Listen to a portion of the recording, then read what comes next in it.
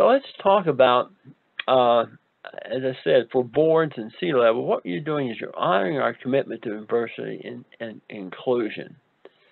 And uh, here again, I call those the key insight reports are either, if they're on, on the plus, they're the dutiful dozen, and if they're on the uh, dragging things down, then dirty dozen. And you see that they'll affect execution excellence and inclusion, the business results that you you you get, uh, uh, realizing untapped productivity and diversity, etc. So you can see this is what these measure and get after.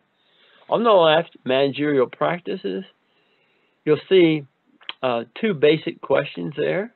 Who's the who's the individual reporting to, which is very, very, very important. Uh, and how's that person viewed? Uh, is a manager consistently creating a productive and motivating workplace, or is it a toxic workplace? And then to the right, you see all the insight reports. So here you, you have 12 of them. Could we run more? Absolutely, but I just cho chose uh, 12, which I think are prominent, pretty prominent and get, get you a good picture of what's happening. We'll be talking about all of these reports. Um, most of them are in the dashboard. Two of them are not. One of them is the the uh, uh, the employee engagement report. Usually that's handled by an outside firm. And then on the 12th down there, avoiding high risk placements.